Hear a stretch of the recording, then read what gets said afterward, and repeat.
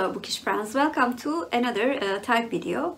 I will do the uh, Canterbury uh, Tales book tag which was created by AJ Dunn uh, Reads and Writes. Uh, I was also tagged by AJ in, in, in the original video but of course in Berna's style. I realized it a bit late, but I, I, I, really liked this tag because it had some timely questions. I wanted to do it as soon as I can. Mm, I will link AJ's video uh, down below. Uh, thank you AJ for tagging me. We have 25 uh, questions, uh, 26 if we include uh, who do we want to tag. The first question is the host. Uh, the host is the character who relates the tales to the reader. He is large, loud and merry. Recommend the Mammoth book over 800 pages for March of the Mammoths. Uh, I will recommend eh, uh, 11/22/63 uh, by Stephen King. Uh, I really do like this science fiction novel. It has a very interesting plot in which a man tries to prevent the assassination of John F. Kennedy. and this is the best book that I have read from Stephen King so far. Prompt 2. the knight stands for fighting, war and bravery. Recommend a book with courageous main character. Uh, Vasya uh, from the uh, Winter Night trilogy, but I especially liked uh, the character development of Vasya uh, in the second book, The Girl in the Tower. I'm not really a fan of uh, young adult fiction, but I really enjoyed this series and especially the character of Vasya. Prompt 3. The Wife of Bath stands for marriage, sex and arguing. Tell us about a book with a strong female character. Uh, I will recommend one of my favorite books, Jane Eyre by Charlotte Bronte. I think uh, Jane's uh, character development in this book is amazing. In the beginning of the book, she's a helpless orphan uh, girl. Uh, but by the end, uh, she becomes a very strong and determined woman who knows what she wants in life. question 4. The Pardoner is all about ambiguity. Tell us about your favorite queer characters. I really did like uh, the tutelar character in My Brother's Husband by uh, Gengoroh Tagame. In this manga, the husband of our main uh, character's uh, brother uh, comes uh, to Japan from Canada and he faces his own very hidden prejudices towards queer people.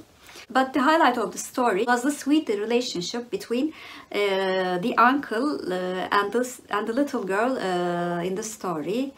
Uh, and the husband was uh, just such a lovable uh, big man. prompt 5. The miller is bold, blasphemous and overturns conversations. Who is your favorite naughty character? I think uh, Hercule Poirot by Agatha Christie is a very naughty character. Although uh, he's clever than almost all of the people in the room. He really likes to play games uh, with people. Uh, and uh, he uh, constantly teases his best friend, uh, Captain Hastings, about his intellect. Also likes to play tricks on uh, criminals, so he's on the naughty list for sure. Prompt 6. The Prioress, I don't know how to pronounce that word, is modest, quiet and compassionate. Recommend a book you don't hear much about on BookTube. I will recommend a book uh, from a very famous author in BookTube, uh, but uh, that book is not uh, talked very often, which is uh, Night Road uh, by Kristin Hannah. I really did like The Nightingale as well, but The Night Road also touched me very very much and the themes that this book explores was really emotional to read about. so I really wanted to bring this book up again uh, for all Kristin Hannah fans. Question 7. The monk cares little for the rule of work and prayer. Tell us about an unconventional character. Uh, I will say Aylin by Ayşe Kulin. Uh, uh, was a, woman who was born in the first years of uh, the new Turkish Republic and she was very different uh, from uh, a traditional uh, Turkish woman, much more courageous, too independent for my taste actually, but very adventurous. It was a delight to read about the biographical uh, novel of uh, this uh, real-life character uh, who was actually related to the author.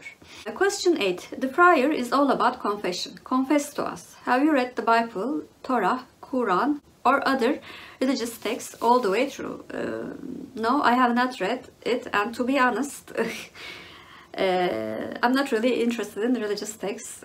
Question 9. The summoner is lecherous and a drunk who tries to sound more educated than he is. Tell us about a book that sounded better than it was. I thought that I would like The Unhoneymooners by Christina Lauren uh, much more than I uh, eventually did. Uh, it has all of the uh, tropes that I loved uh, in romantic uh, books. Uh, first of all, this is a romantic comedy, uh, my favorite subgenre. Trope of fake marriage and some somewhat dislike to love. I should have loved this book, but I found it just fine.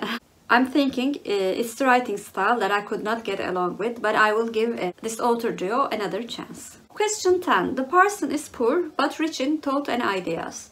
Tell us about a book that gave you more than you expected.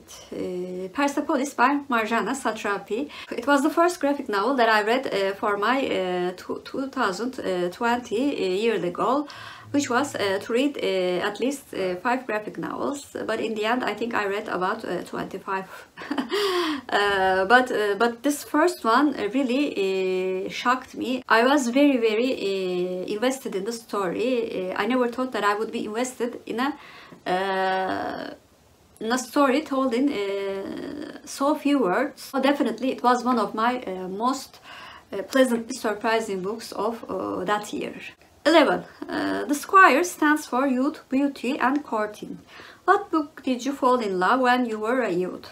It's certainly Pollyanna by Eleanor H. Porter. And as well as uh, falling in love uh, with the series and reading the series uh, so many, so many times, uh, I think uh, I had my first bookish love with that book series as well.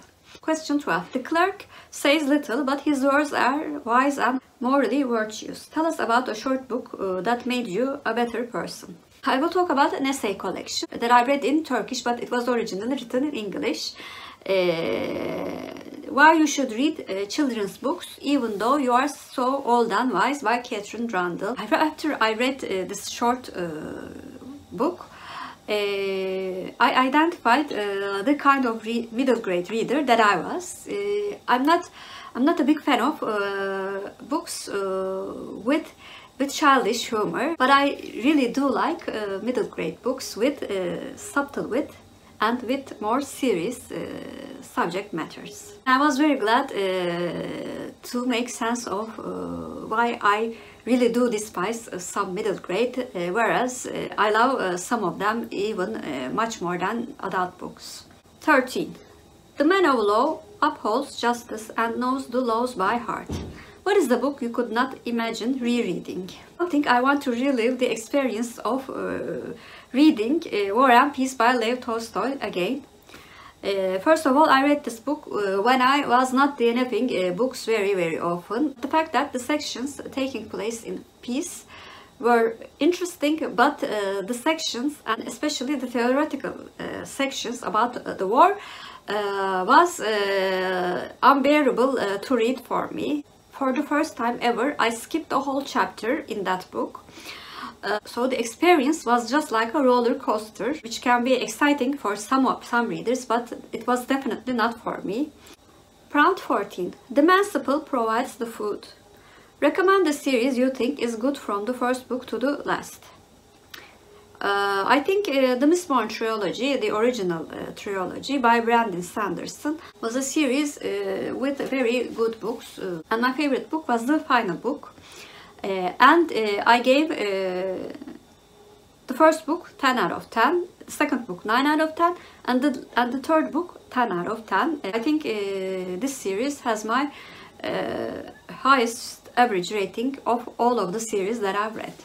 Prompt 50. The merchant deals in furs and cloth and is powerful and wealthy. Uh, recommend a book with a powerful message or theme. Uh, I will uh, recommend uh, a book that affected me a lot, uh, both uh, by its powerful theme and also by the wonderful writing style.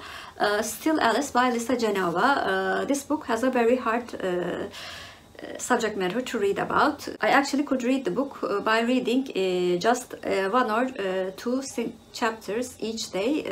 That was my limit for reading this book. The book touches on the subject of early Alzheimer's through the patient's eyes and because of the wonderful writing style uh, we can uh, empathize with uh, the patient uh, as well as the uh, people who take care of the patient, which was an incredibly powerful team to read about. Uh, prompt 16 The shipman is a wine stealing rascal. Tell us about a side character who steals the spotlight. Lady Danbury in Bridgerton series, but especially it's in his Kiss by Julia Quinn. Um, because uh, the hero in this book is Lady Danbury's uh, grandson, we, we, get to see the more of uh, her awesome personality. Uh, I distinctly remember uh, talking about this book in my wrap up, uh, saying I gave the main couple a 7 out of 10, but because of Lady Danbury scenes, I rate this book an 8 out of 10. She's an absolute delight to read about. I wish there had been a, spin-off series uh, starring Lady Danbury. Maybe I should uh, contact uh, Julia Quinn with this message. Prompt 17. The physician knows what ails you and you can cure it. Tell us about a book you consider a comfort read. Um, I'm going to talk about actually a book that I read very recently. Uh, a Bear Called Paddington by Michael Bond. Uh, but uh, as I was listening to the book, I, I thought uh, I really want to listen to all of the uh, books in this series because I felt uh, so much warmth when I was listening to the series. It certainly brought me comfort. I actually plan to uh, listen to a book uh, in the series once a month or once in two months, uh, considering the comfort that the first book gave me. Prompt 18. The Franklin is not a vessel or a noble, but a free man. Recommend a book about freedom in any form chose The Illumination of Ursula Flight by Anne-Marie Crowhurst. Uh, in this book, uh, Ursula Flight uh, is a very lovable character. Uh, she was one of my favorite characters uh, of 2020 actually. Uh, and in this book, Ursula finds her freedom after she becomes a widow and decides to live by her own rules uh, not by uh, rules dictated by some man. Prompt 19. The reeve is believable on the outside but lies on the inside. What book was different than what you led to believe? I have a very significant answer for this question. Uh, and the Mountains Echoed by Khaled Hosseini. First of all, uh, beware that uh, this book is not a novel. Uh, it's a, a, collection of uh, interconnected uh, short stories and if I had known uh, that uh, before reading the story, maybe I would have enjoyed it much more because uh, the writing style was very emotional, uh, like uh, like the novels that Hosseini wrote previously. But because I could not grasp the very loose connections, uh, I was at lost while reading the book. Prompt 20. The Plowman is good-hearted and faithful. What book do you read over and over again? it's of course Persuasion by Jane Austen. Uh, I especially like to read uh, the letter over and over again and uh, that's what I will probably do until uh, I am able to read. Prompt 21. The Guildsmen are five men who act as a unit and stand for brotherhood or sisterhood recommend a book with strong ensemble cast of characters. I think uh, I will uh, talk about Not a Penny More, Not a Penny Less by Jeffrey Archer. In this book, uh, there is a man uh, who who conned his way and tricked uh, four characters. And uh, these four characters do come to to take their money and to revenge that con artist. Main four characters were uh, so much different uh, from each other, but they complemented each other uh, with their strengths in this very clever plan. Most interesting thing in this book uh, was uh, that uh, I cared a bit about the conman as well because he was such a complex character. that's why I think it has a strong ensemble of characters. Prompt 22. The cook makes the food that feeds you. Tell us about the book that feeds your soul. Uh, İnce Memed, Memed My Hawk by Yaşar Kemal fed my soul uh, when I read the book. because of the incredibly wonderful writing style. There are so many, so many good things that I can say about uh, this book, uh, but uh, I think uh, I will link my video down below so that you can see com more comprehensive thoughts about this wonderful Turkish modern classic. Prompt 22. The Yeoman Serves You. Tell us about a book that served its purpose, that did what you wanted it to do. It wasn't great, but wasn't bad.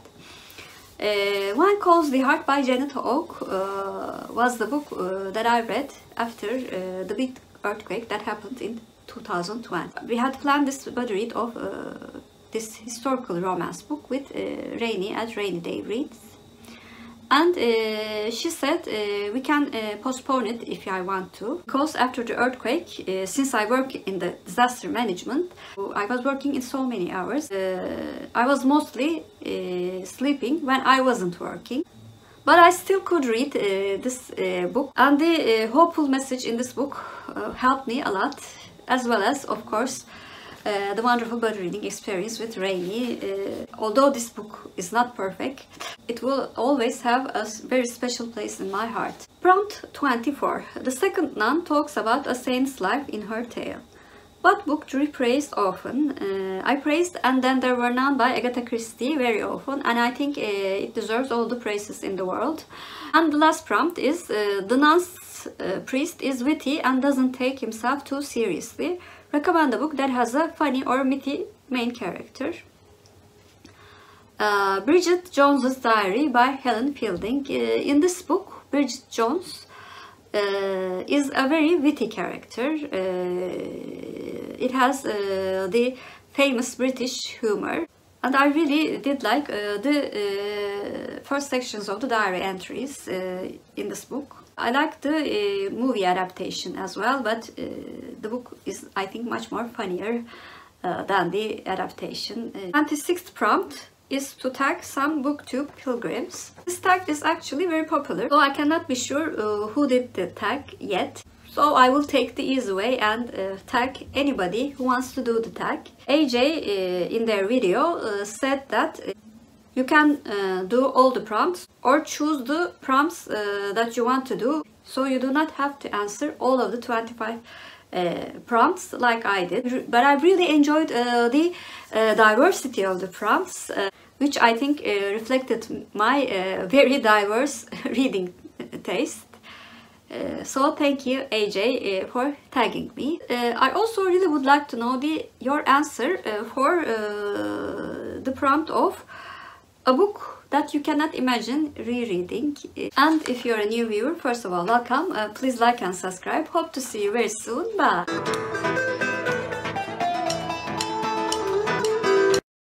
For Turkish word of the day, I'm going to choose tale.